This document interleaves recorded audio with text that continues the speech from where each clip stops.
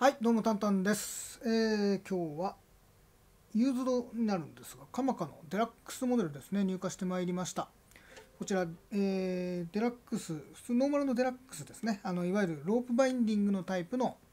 えーデラックスになりまして、かなり木目もこんな感じで綺麗な一本となっております。ヘッドの方もね、かなり綺麗なカーリーの出た、えーコアが使われてますね。はい、でご覧の通りねかなり綺麗な状態ではあるんですけれどもこれがね2003年製になります。なので多分この形形状に変わってま間もなくぐらい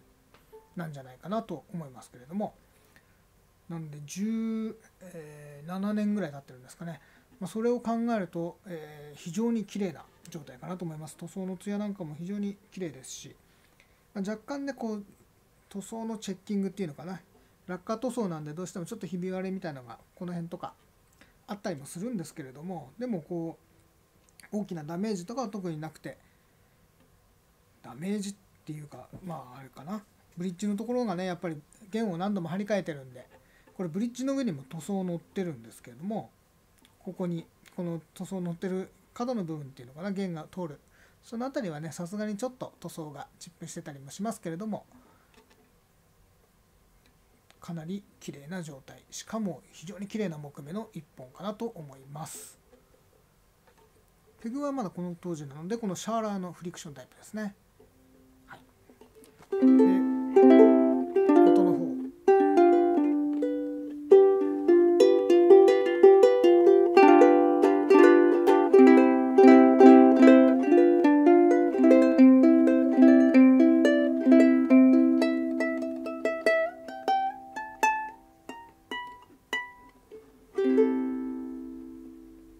あの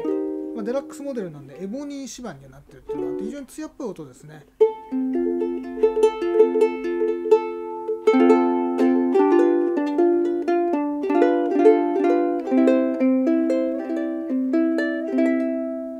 腰もがある音ですし艶っぽい感じなので非常にこう伸びやかで。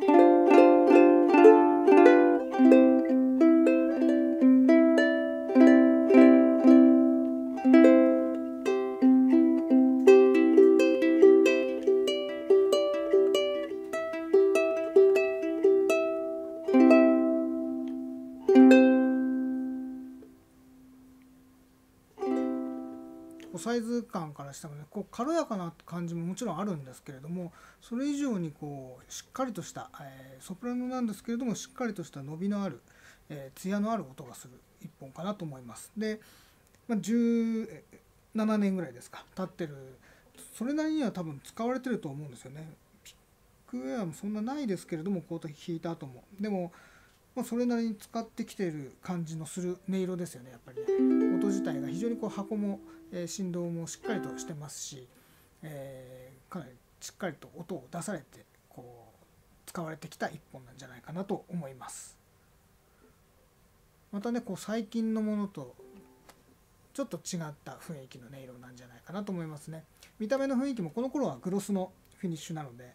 今一番新しい、えとデラックスこのタイプロープバインディングのタイプのデラックスはセミグロスのフィニッシュに変わってるのでその辺りのルックスの違いっていうのももちろんありますけれども、まあ、こういったね綺麗なカーリーの出た木目はやっぱりグロスの方が非常に映えるので良いんじゃないかなと思います。はい、ということでこちら、えーカマカの、えー HF1D ですねデラックスソプラノタイプになります、えー2003年製ですね、えーユーズドにはなりますけれども非常にコンディションの良い音の良い一本だと思います。ぜひお問い合わせの方お待ちしております。それではタンタンでした。